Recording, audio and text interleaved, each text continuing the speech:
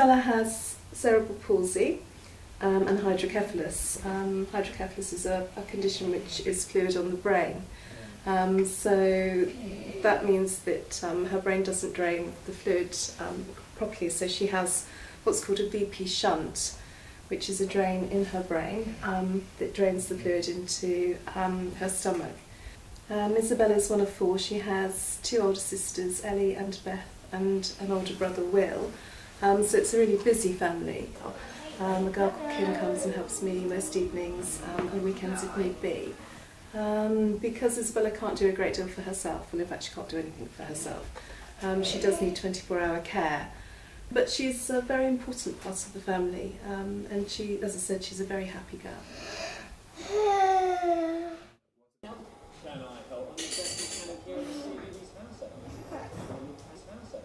Trying to raise two and a half thousand pounds and it's to buy a specially adapted trike um, for Isabella.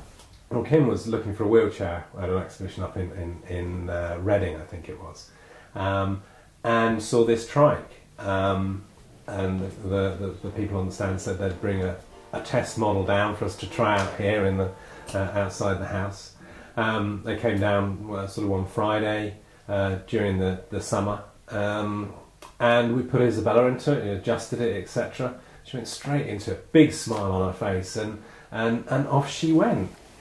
We decided that we would like to do something that was fun, um, so we decided to organise a dance evening, which was going to consist of um, a Ceroc lesson, followed by disco, at which we can all show off our skills. They could, they could put that in.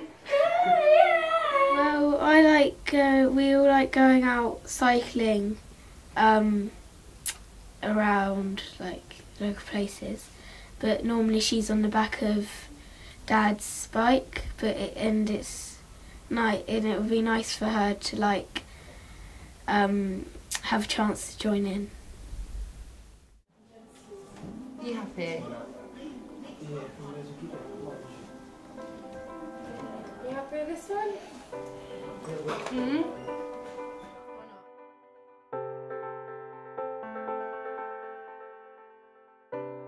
Rainbow Centre has been has been great for her. Um, she's been going um, since she was about two, I think, um, and she's been making steady progress.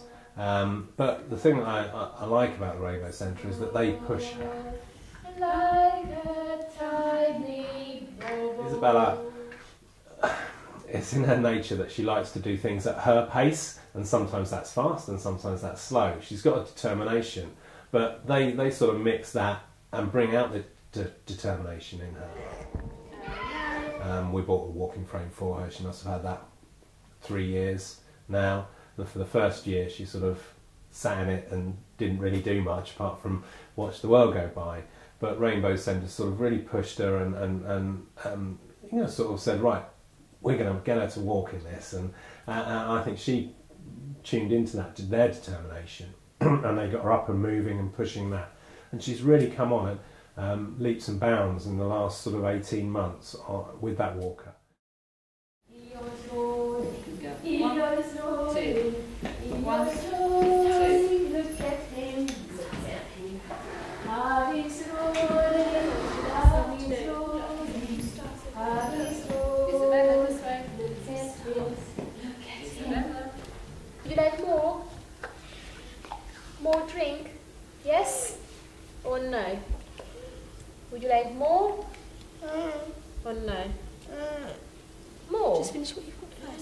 All right.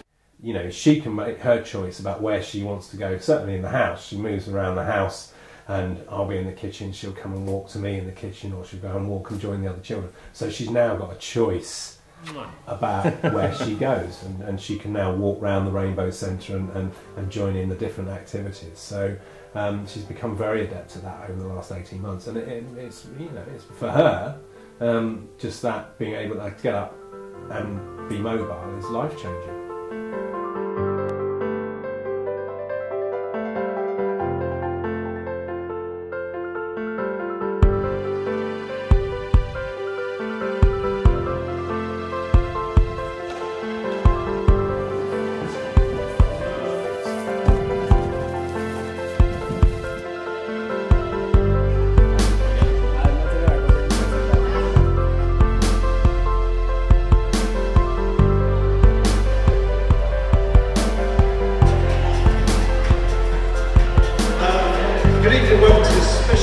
Isabella.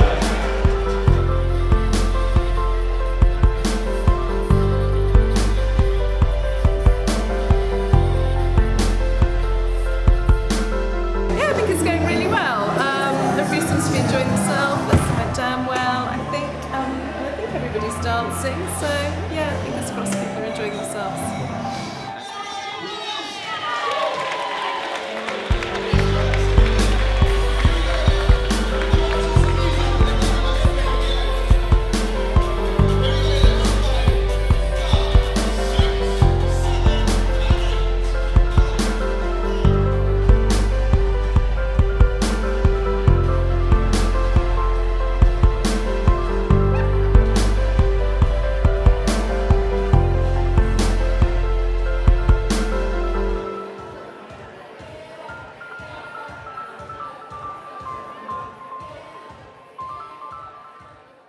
I think the best thing about the Stropper event was actually the, the amount of people that got up and, and danced and, and had a good time. I think um, we actually, um, yeah, I think people enjoyed it, which is great.